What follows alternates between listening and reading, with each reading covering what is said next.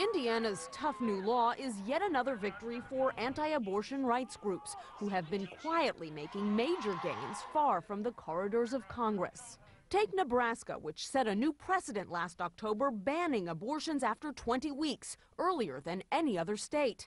Idaho, Oklahoma, and Kansas quickly followed suit. These bills establish that Kansas, in the heart of America, is a culture of life state, and we're not going back. Missouri's law, signed last August, requires doctors to warn women who want abortions that it might cause pain to the fetus. Arizona's Republican Governor Jan Brewer has signed 10 abortion bills, including one mandating that a woman seeking an abortion get an ultrasound first. Florida and Texas will soon have similar laws. Maybe a 22 year old girl goes in there who's never seen one and says, Wow, that's my baby.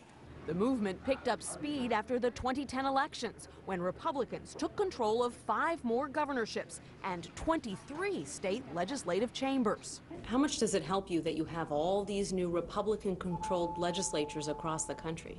Oh, I think this is, is huge. I think this is a historic time. Legislators at the state level, and, and having been a state legislator, they have a, a much better opportunity to pass uh, policy initiatives. Hey, hey! Planned Parenthood is here to stay! Protests against all these laws have been sporadic and, for the most part, small. Were pro abortion rights groups mm-hmm. taken off guard in No. these states? No. We anticipated it, but the fact of the matter is we have to fight it on every front, and women's voices have to be heard. You've that been it's una- fighting, but you haven't been winning. Well, again, elections matter. Abortion opponents say their strategy is to chip away at access to abortions at the state level since they can't do it at the national level as long as Democrats control the White House and the Senate.